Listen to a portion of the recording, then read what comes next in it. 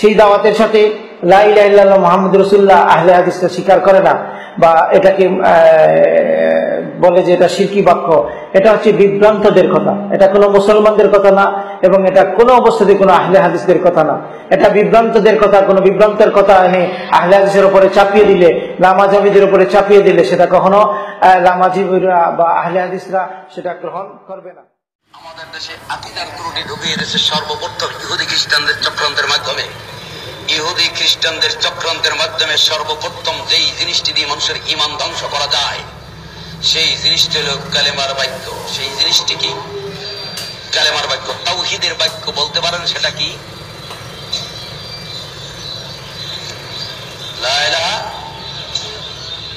তারপর মোহাম্মদ রসুল বলছেন, লা ইল্লাল্লাহ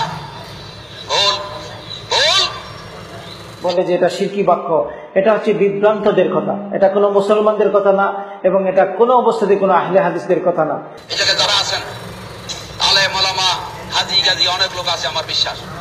একজন লোক হাত লাগাই বলেন তো যে আমার এই চক্ষু দুইটা দিয়ে বুখারি শরীফ মুসলিম শরীফ তিরমিজি শরীফ আবুদাউ শরীফ নাসাই শরীফ ইবনে মাজাহ শরীফ মুস্তাদরিক হাকিম সুনানে কুবরা বাইহাকি ম- তারপর মুস্তাদে আহমদ তারপর কি বলে? আহ, ফতহুল বাড়ি তারপরে এই ধরনের যত কিতাব আছে মিজানুল ইতদাল মহল্লা মুমিনা বিনায় নেহামত সুদমুহিত যত কিতাব পৃথিবীর বুকে রয়েছে একটা কিতাবের মধ্যে লেখা দেখেছেন? এক জায়গায় হাদিসে রসুল থেকে প্রমাণিত যে লাই ইলাহা ইল্লাল্লাহ মুহাম্মাদুর রাসূলুল্লাহ দেখেছেন একজন হাত জায়গা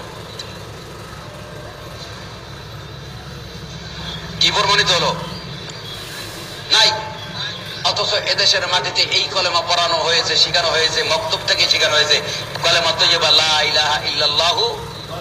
মোহাম্মদ রসুল্লাহ রুগী যখন সর্বরোগে আক্রান্ত হয়, তখন ডাক্তার হিমশিম খেয়ে যায়, কোন রোগের ঔষধ দিয়ে আবার রুগী মেরে ফেলাই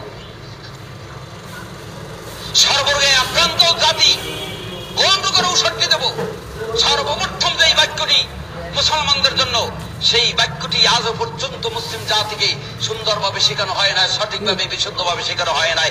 আজও পর্যন্ত মুসলিম জাতি কোরআনের মধ্যে রয়েছে সর্বপ্রথম ইমান আনার জন্য যে বাক্যটি শেখা দরকার সেই বাক্যটি শুদ্ধ করে দেশে আলেমরা শেখায় নাই।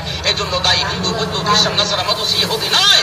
আওয়ামী লীগ বিএনপি জাতীয় পার্টি তারা নয় এই জন্য আমার মতন বহু লোভীরা দায়ী আছে না পাঁচটি কলমা কলমা তৈবা কলমা শাহাদ কলমায় তমজিদ কলমায় তৌহিদ কলমায় অমুক, কলমায় তমুক। পাঁচটি কলমা কলমা তৈবা কলমা শাহাদ কলমায় তমজিদ কলমায় তৌহিদ কলমায় অমুক, কলমায় তমুক।